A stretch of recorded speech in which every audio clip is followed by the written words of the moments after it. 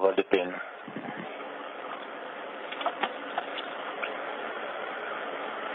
And capture. Capture.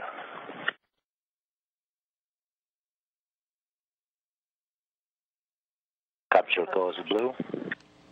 Capture of the Japanese HTV cargo craft confirmed at 5:41 a.m. Central Time.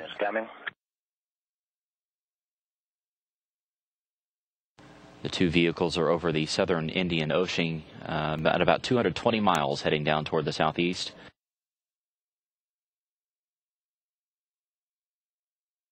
So once again, the Expedition 26 crew successfully latching on to the Japanese HTV cargo craft. 5:41 a.m. Central Time. Tension is 5,300. Position holds.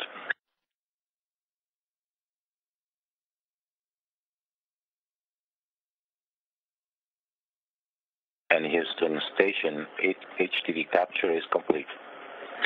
Great job, you guys, Paolo, Katie, and Scott, on the uh, morning's work.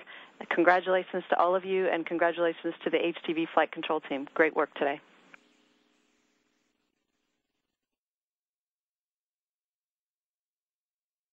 Megan, we have Kounotori in our grasp.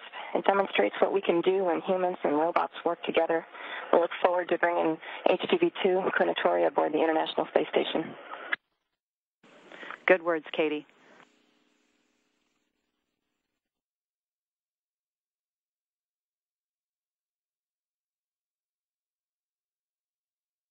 This is Mission Control Houston once again just confirming at 5:41 a.m. Central Time that is when the Japanese HTV cargo craft was successfully captured using the International Space Station's robotic arm.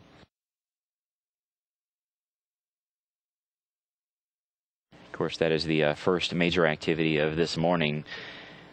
The crew is going to use that arm to steer HTV around toward the bottom side or the Earth-facing portion of the Harmony node. This is going to be the home for HTV for the next uh, few weeks up until February the 18th. That is when HTV will be moved around to the top side of the Harmony node, which is the uh, space facing portion of it.